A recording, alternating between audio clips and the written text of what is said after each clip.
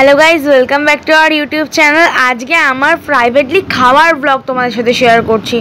মানে দুপুরবেলা আমি কী কী খাই সেটা মানে রোজের নয় জাস্ট মানে কালকে কী খেয়েছিলাম সেই বিষয়ে ব্লগ শেয়ার করছি। আমাদের এখানে কলকাতায় প্রচণ্ড বৃষ্টি হচ্ছে।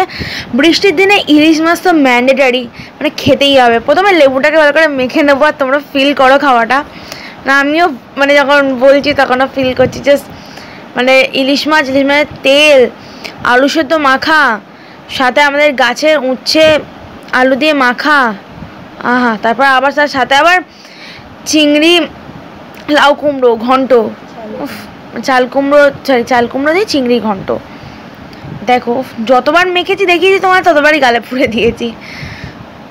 আমার হেভি লাগে বিশেষত মাছের তেল আলু সেদ্ধ দিয়ে খেতে। দুখানা ইলিশ মাছ আছে বাট আমি একটাই খাব, আমার বেশি ফেভারিট একটাই যথেষ্ট। আমি ইলিশ মাছ সবসময় শেষে খাই। আমি, তুমি, তোমরা ব্লগটা দেখে বুঝতে পারবে। আমি মানে ব্লগ আমি কখনোই মানে মাছ, মাংস যাই না কেন, তোমরা আমার ব্লগ অনেকবার দেখেছ আগে খাওয়ার।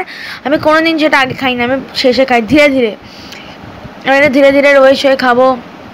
আর আর বেশিরভাগ আমি প্রন খুব ভালোবাসি, আর সসি প্রন তো ওয়াও আমার সসি প্রন বেশি ভালো লাগে ক্যাপসিকাম দেখছি মানে দিয়ে করলে।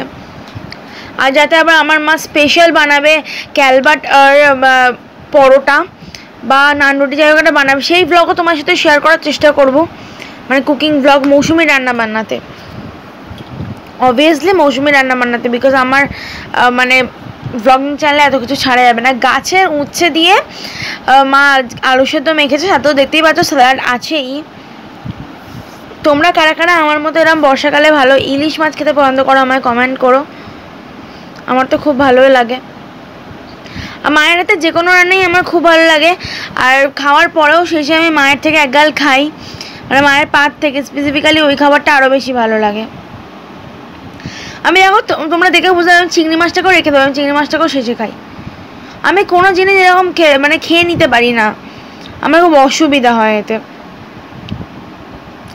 কোনো মাছ বা যা কিছু বলো না কেন, আমি সেগুলো তোমরা থাম্বেল থেকে বুঝতেই পেরেছ কী কী রান্না হয়েছিল। আর চাল কুমড়ো দিয়ে চিংড়ি মাছের ভিডিওটা মৌসুমি রান্না তোমরা পেয়েছ আর হিলসা ফ্রিজ ফ্রাইও পেয়েছ, ইলিশ মাছ ভাজা। সবটাই মৌসুমি রান্না বান্নাতে দেখবে, তোমাদের খুব ভালো লাগবে। আর ইলিশ মাছের তেল দিয়ে আলু সেদ্ধ জাস্ট মানে খুব ভালো লাগে, আমার বাবা আবার এসে একটু ডাল খায়।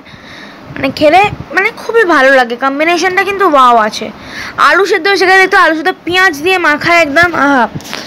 আলু সেদ্ধ, পেঁয়াজ দিয়ে তেল দিয়ে মাখা তো কোনো কথাই হবে না মানে এই খাবারের এই খাবারের স্বাদ হয় না গাইজ মানে মানে বলে বোঝানো যায় না। তোমাদের ব্লগটা কেমন লাগল জানিও, ভালো থেকো, সুস্থ থাকো, এভাবে খেতে থাকো। টাটা!